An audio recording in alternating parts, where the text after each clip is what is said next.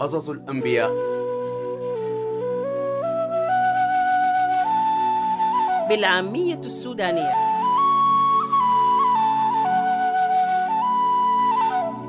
قصة سيدنا سليمان الحكيم عليه السلام. الجزء الأول.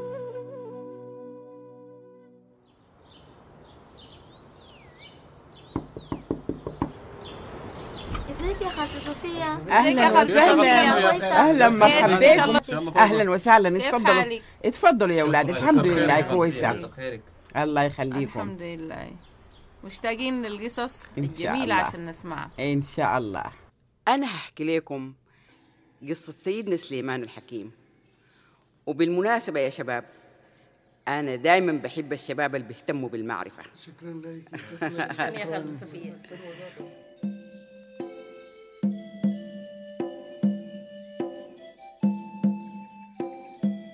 شوفوا يا أولادي. سيدنا داود عليه السلام كان عنده أولاد كثيرين وبيت واحدة من عدة زوجات. وأشهر أولاده هو سليمان الحكيم النازع في الحكم أخوه أدونيا الأكبر.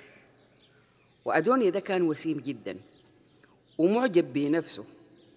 أبوه ما كان بيزعله أو يعاتبه إذا عمل أي غلط. وده شجع أدونيا على أنه يفكر ياخد السلطة. وكان عنده طموح كبير. عشان كده قال دلوقتي أبوي بقى كبير في السن. أيوة أنا لازم أكون الملك بعده. عشان كده لازم أجهز عدد من العربات الحنطور لتشرفة الملكية. وكمان لازم أجهز خيول وخمسين من الرجال عشان يتقدموا قدام الموكب.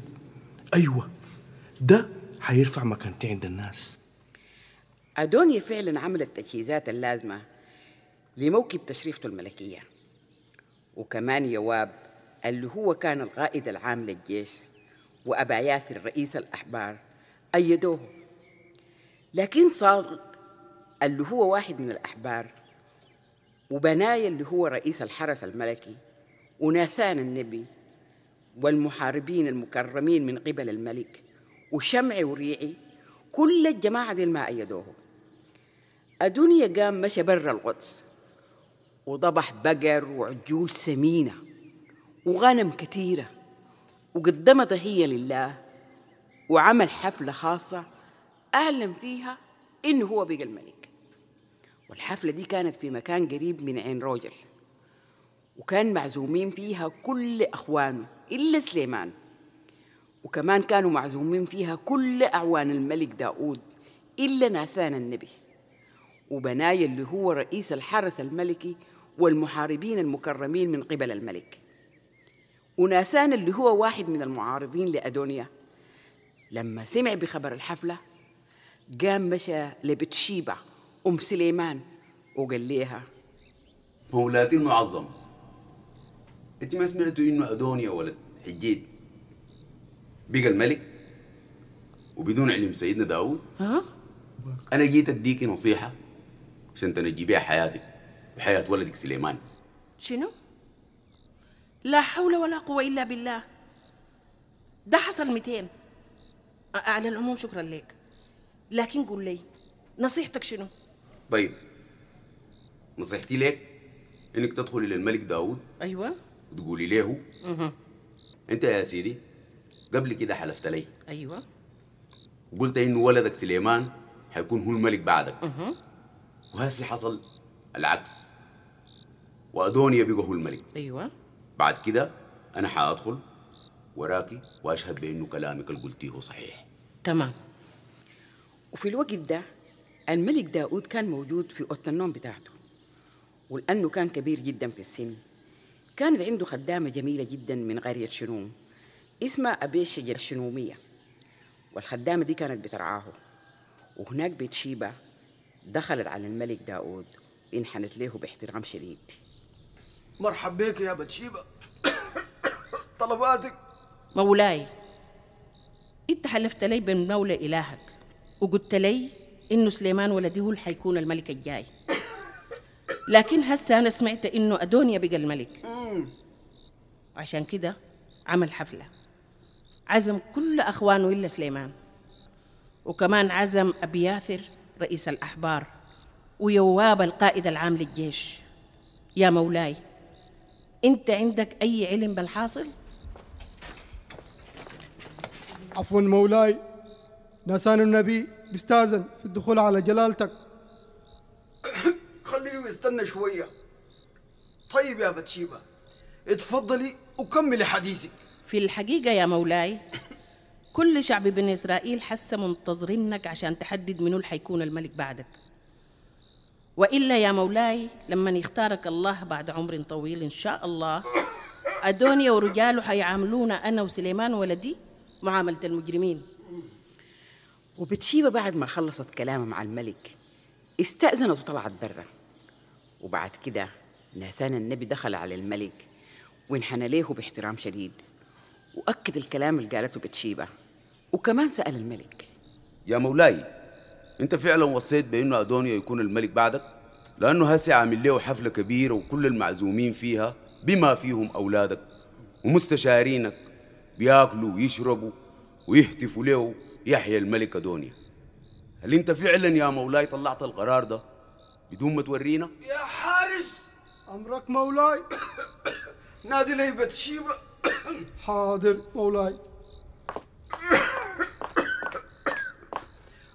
اسمع يا بتشيبة نعم. أحلف لك بالله أن نجاني من كل ضيق زي ما حلفت لك به قبل كده.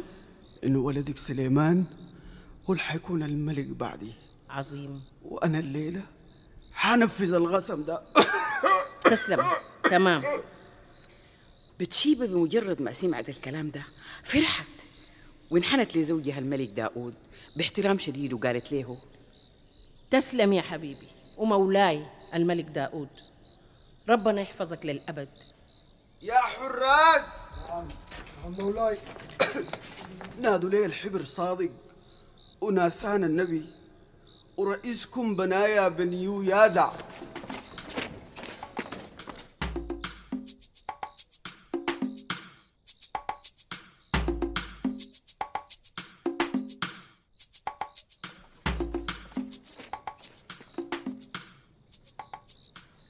يا صادق يا بنايا ويا ناثان ركبوا سليمان ولدي على بغلتي الخاصة وأخذوا معاكم رجال من الحرس وأنزلوا على عين جيحون. وإنتوا يا صادق وناسان أمسحوا راسه بالزيت حسب عاداتنا وأعزفوا الموسيقى وكمان اهتفوا له يحيى الملك سليمان. يحيى الملك سليمان وبعد ذاك ارجعوا معه عشان يجلس على العرش ويبقى الملك بدلي. لأني عينته حاكم على كل بني إسرائيل. يا خالتي صفية أنا عايز أسألك. ليه سيدنا داود أمر بإنه يمسحوا لسليمان رأسه بالزيت؟ أيوة يا منى يا بنتي. على حسب عادة الناس الزمان داك كانوا بيمسحوا رأس الملك الجديد بالزيت ودي بتكون علامة على أنه بقى الملك. أها يا جماعة. بعد كده بنايا قال لسيدنا داود خير يا مولاي. نسأل الله إلهك إنه يحقق الكلام ده. ومثل ما أعانك الله نسأل سبحانه وتعالى أن يعين الملك سليمان في مهمته الجديدة ويجعل عرشه امتداد أعظم لعرشك يا مولاي. الملك سليمان. يحيى الملك سليمان. يحيى الملك سليمان. القصة دي برضو طويلة شوية يا جماعة. عشان كده حنتناولها على أجزاء. الليلة خلونا نعتبر إنه ده الجزء الأول منها لكن قصة حلوة والله في المرة العفو. أنا أوعدكم. المرة الجاية بإذن الله نواصل.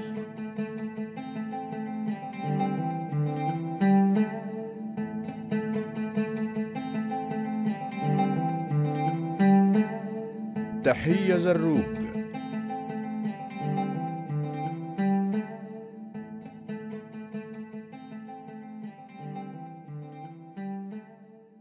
إخراج طماطر شيخ الدين.